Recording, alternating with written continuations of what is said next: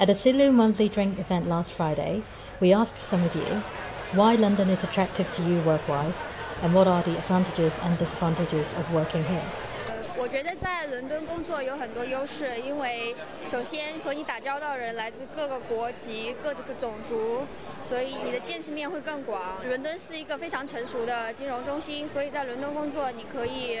积累到更多别的城市，比如香港或者是新加坡都不能给你的经验。你初到伦敦的话，你可能人际交人际圈不是很广。如果你从事的行业是需要你认识很多人，有很多 network 的话，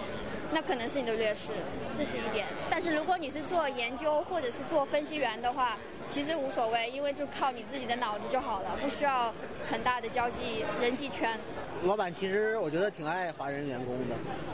比如说，比老外干得快。你同样的 project，你让中人中国人做，可能一天就做完；老外可能要做好几天啊。尤其是刚开始工作那些人，他们都非常积极，干活就很好。但是升职就比较相对艰难一点，因为因为就是毕竟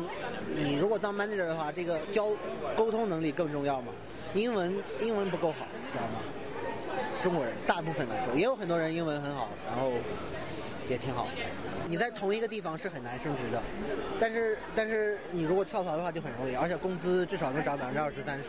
华人比较 hard working，然后永远都不会对自己的工作呃满足，而且很喜欢 push 自己，觉得自己做的不够好，想要做的更好。华人在这边工作很大一个劣势就是签证的问题。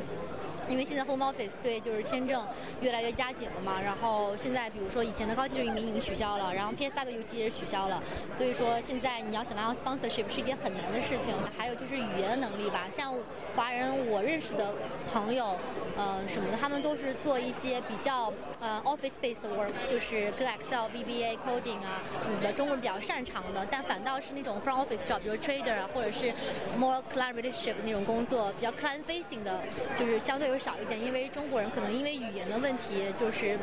不会像外国人比较那么会 communicate。